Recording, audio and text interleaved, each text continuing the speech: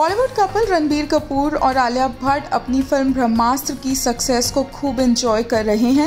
रणबीर और आलिया के साथ साथ डायरेक्टर अयान मुखर्जी भी बहुत ज़्यादा ग्रेटफुल है। एयरपोर्ट पर आज सुबह ही इन तीनों को कैप्चर किया गया।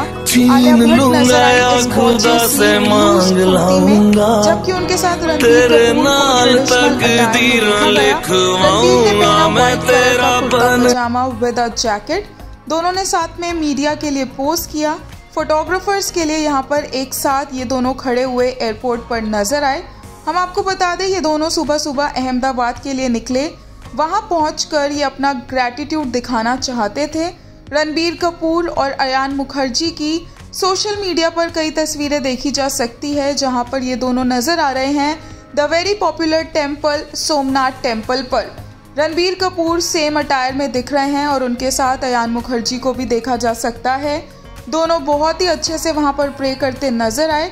रणबीर कपूर को यहाँ पर सम्मान भी दिया गया और इन दोनों को एक साथ यहाँ इस तरह से देखकर ये बात कंफर्म हो चुकी है कि दोनों बहुत ही ज़्यादा अच्छा फील कर रहे हैं क्योंकि बॉलीवुड में काफ़ी टाइम से कोई भी फ़िल्म हिट नहीं जा रही थी।